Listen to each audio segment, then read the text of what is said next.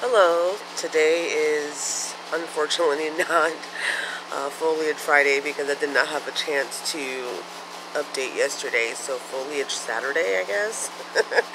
but it is Saturday, uh, July 17th, 2021. And uh, it is about 82 degrees uh, right now here in Melbourne, Florida. Pretty clear sky, lightly cloudy. Um, it is for my opinion, too hot. But a lot of people, this is like their paradise weather. But anyways, uh, let me update you on my plants. So today is day 167 for my red pepper plant, uh, Falcon. And she's the same height as the last time.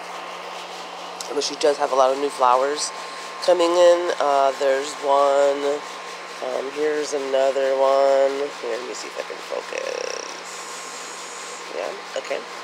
Let's see. There's another one here. So preferably these flowers will fall off and peppers will grow in.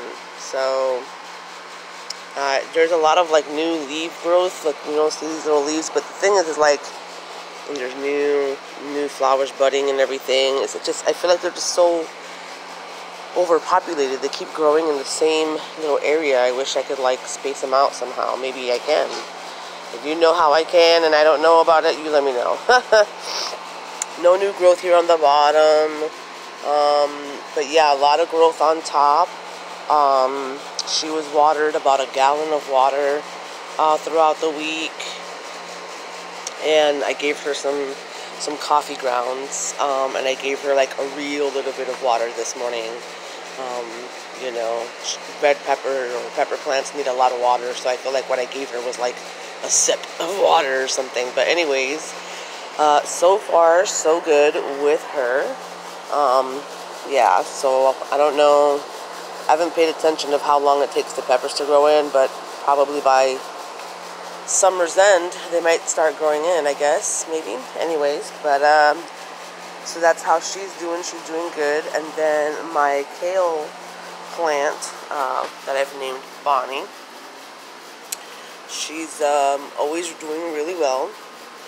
She's uh, 120 days years old. You see these two um,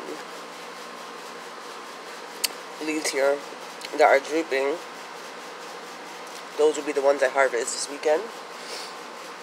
But uh, otherwise, she's growing really good. She's also the same height about uh, about a foot tall, 12 inches. And uh, as I show you every week, which I know can't be too exciting, she's got new new babies growing in here. So she's doing pretty good. The bright green. I guess I haven't been allowing the bottom ones to drop a lot to, for them to turn blue. Um, so, but I mean, I don't mind. And then, last but not least, is my succulent plant that I've named Ava. Uh, she is 85 uh, days old. Um, I'm going to water her on Monday because I'm going to be watering her every month on the 19th. That's when I watered her last. Um, so, so yeah, Monday she'll get more. Um, I don't think that my camera will let me focus enough, but you, she does have really tiny microscopic little leaves coming in here.